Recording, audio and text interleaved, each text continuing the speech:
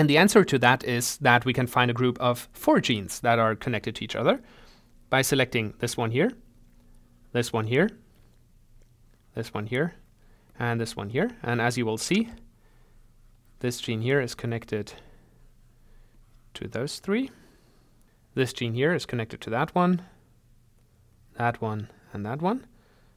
This one up here is also connected to this this one, this one, and this one. And similarly here, the fourth one, it's also connected to the other three. So that is actually the largest possible group of genes that you can find that are all connected to each other in this network.